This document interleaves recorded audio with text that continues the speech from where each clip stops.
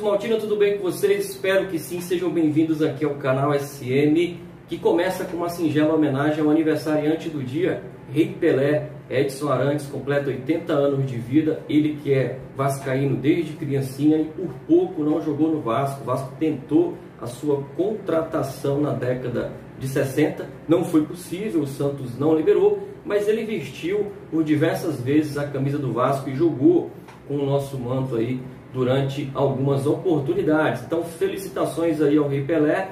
E no vídeo de hoje a gente vai falar de muita coisa. Vamos falar sobre treinamento do Vasco no novo CT, a gente vai falar sobre a situação real do Benítez, vamos falar também sobre salários, sobre reforços, vamos falar também sobre um projeto lançado aí e apresentado ontem pelo Leven numa live em seu canal sobre a reforma e ampliação de São Januário, ó, ficou muito bacana. Vamos falar também sobre a situação é, de penhoras, né? Muita coisa aqui no vídeo de hoje, a gente se perde um pouco, mas tem penhoras milionárias aí no Vasco, a gente vai detalhar um pouco mais logo depois da vinheta. Depois da vinheta você já vai ficar com o vídeo de apresentação feito ontem pelo Leven em seu canal no YouTube.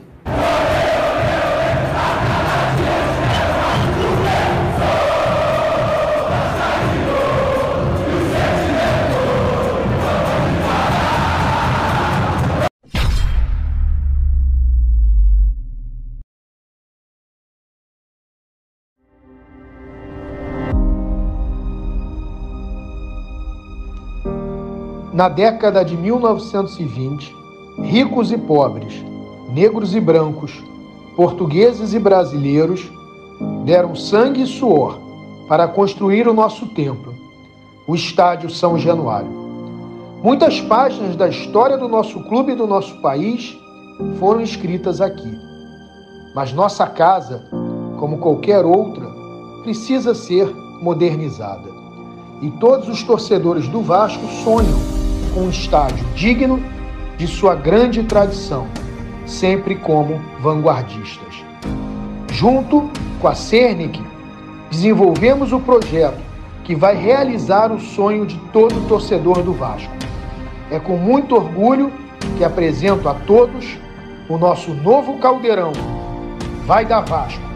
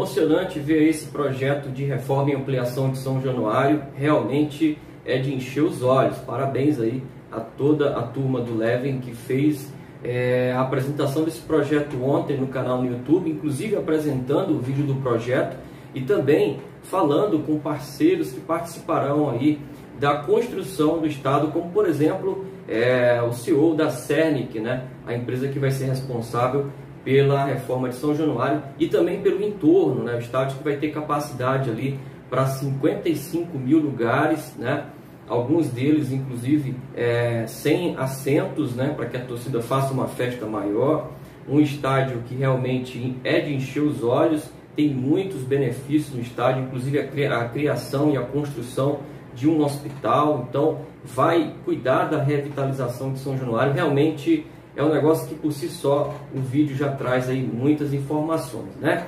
Então, nessas eleições que ganhe o melhor projeto, acho que é isso que a gente tem que fazer, olhar os candidatos, mas entender o que, que esses candidatos vão proporcionar de projetos para tirar o clube dessa estagnação, né, que nos domina já há alguns anos. Então, vamos falar de outros assuntos aqui, vamos falar do time de futebol, né? O Vasco que tem aí é, já definido o seu adversário na Copa Sul-Americana, né? Com tantas informações a gente nem citou isso na abertura do vídeo, mas saiu sim o adversário na Sul-Americana, vai ser o Caracas da Venezuela. O primeiro jogo é em São Januário e o jogo de volta é na Venezuela. Então o Vasco pode sim é, fazer da Copa Sul-Americana diferente do que fez na Copa do Brasil. Né? A expectativa nossa na Copa do Brasil era ir mais longe e conseguir né, financeiramente as premiações aí, é, que pudessem nos ajudar a pagar né, os compromissos que a gente tem, como por exemplo os salários. Né? E na Sul-Americana a gente pode chegar a ter aí 45, 46 milhões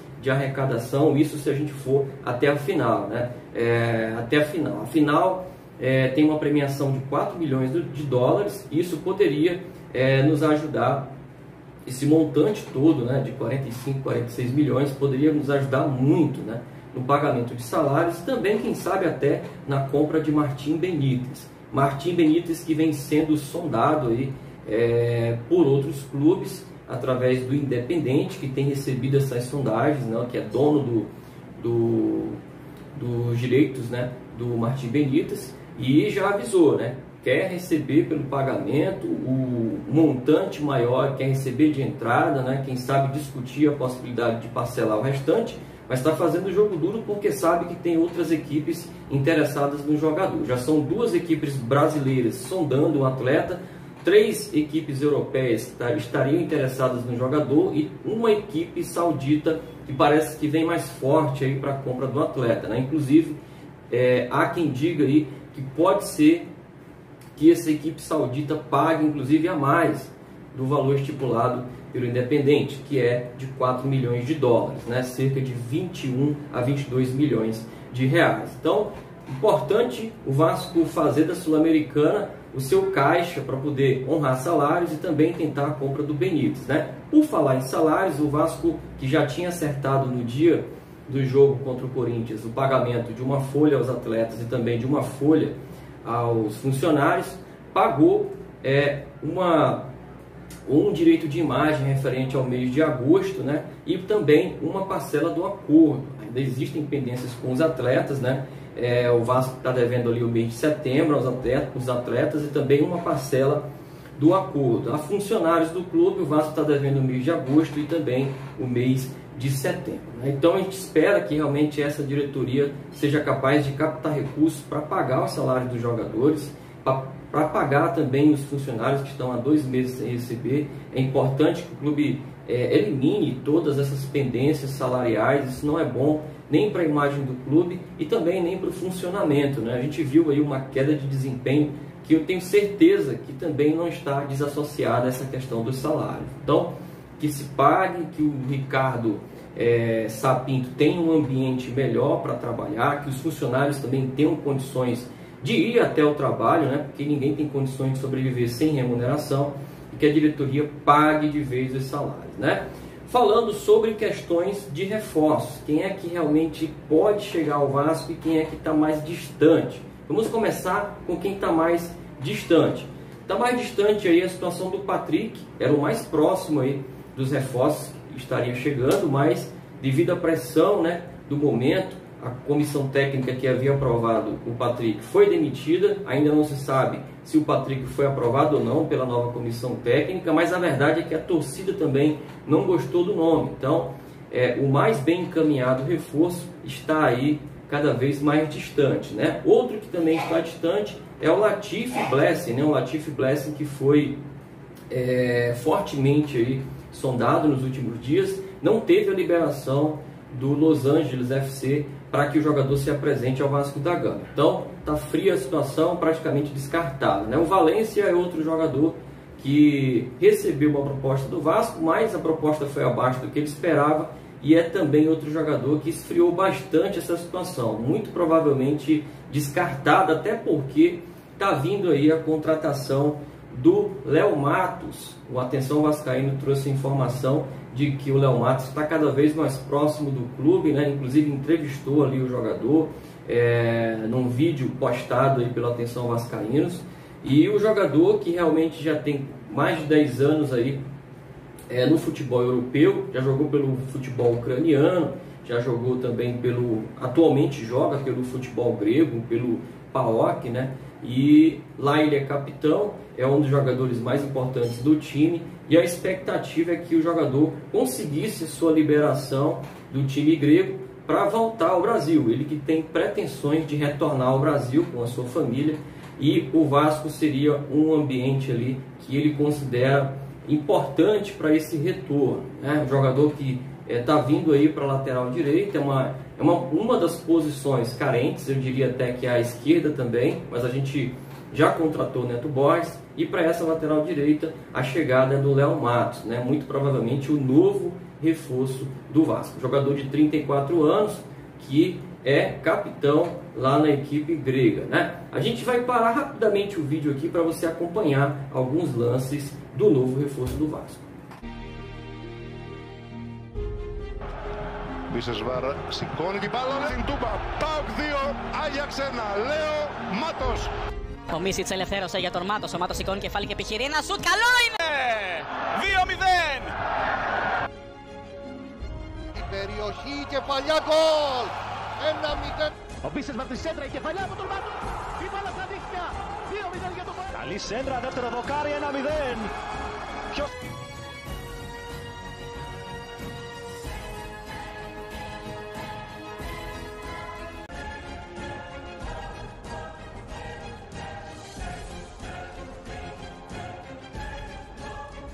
έχει όλη την πλευρά. Ο Βάντερσον, το άνοιγμα για τον Τζάλμα κάπως και κάνει κίνηση για να ξαναπάρει. Ο Μάτος ευκαιρία για το 2 το κάνει. Είναι ο απόλυτος πρωταγωνιστής στο Μάτο.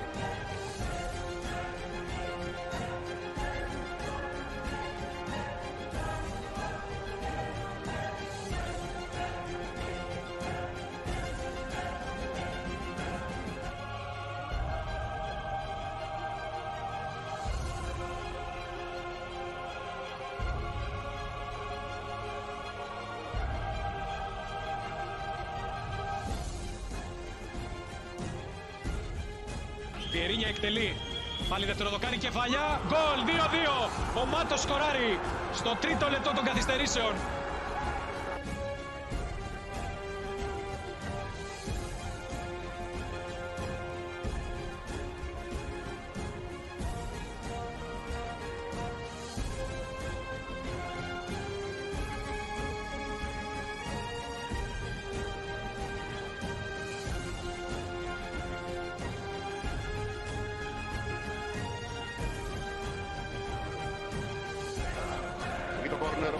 Josip Misic que falla.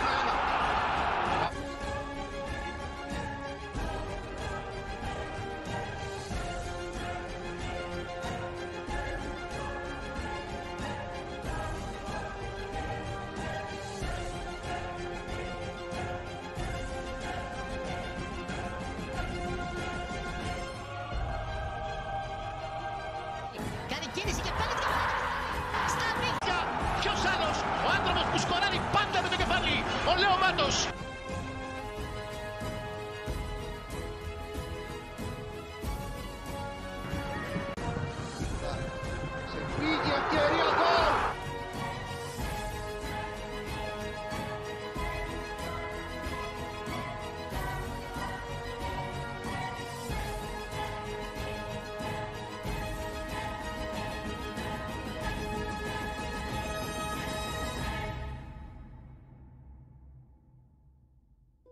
Esse é o mais novo reforço do Vasco, jogador que fez 34 jogos né, na última temporada, 5 gols e que já colocou no seu Instagram que está chegando. Acompanhe a imagem que a gente vai colocar na sua tela. Ele andou ali flertando com alguns torcedores que pediam a sua chegada no Vasco e afirmou que realmente está chegando. Então, já que está tudo definido, muito bem encaminhado, que ele tenha sorte no Vasco da Gama, acho que é um momento delicado até para a gente se reforçar, né, já que financeiramente está tudo muito é, difícil. Então, já que o Vasco achou que esse é o jogador, se tiver aprovado pelo Ricardo Sapinto, que tenha sorte. Né? Espero que essa contratação tenha passado pela avaliação do novo técnico do Vasco. Né? Fora de campo, a gente está vendo algumas situações aí que cada vez mais apertam o clube. Né? O Vasco foi condenado aí a uma penhora milionária de cerca de 10,338 milhões, ou melhor, 10 milhões 338 mil reais, em detrimento aí de um escritório de advocacia que prestou serviços aí ao clube, né? Então, é, esse valor será bloqueado, né? Mas cabe recurso. O Vasco ainda pode recorrer da decisão.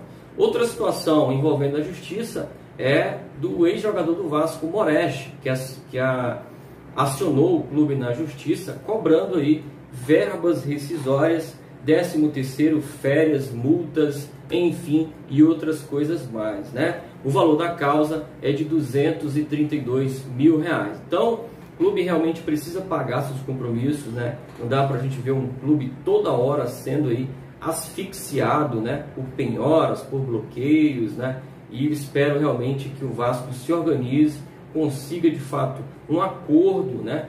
e possa realmente dar tranquilidade ali para o clube ser tocado, né? Porque toda hora vem um bloqueio, toda hora vem é, uma penhora, isso acaba realmente tirando, né, o potencial do clube de manter as suas, os seus funcionamentos é, em condições, né, de manter seu, as suas condições funcionais, né, as suas condições de funcionamento, melhor falando, e também o pagamento das suas situações básicas, como por exemplo salário. Né? Então, é, que se trabalhe em cima disso, que o Vasco possa realmente trabalhar de forma um pouco mais organizada para evitar que o clube tenha tantas é, coisas bloqueadas aí através da tanta verba bloqueada aí na justiça, né? Então, esse foi o vídeo de hoje. A gente espera que você tenha gostado do vídeo. Fica com Deus e até mais.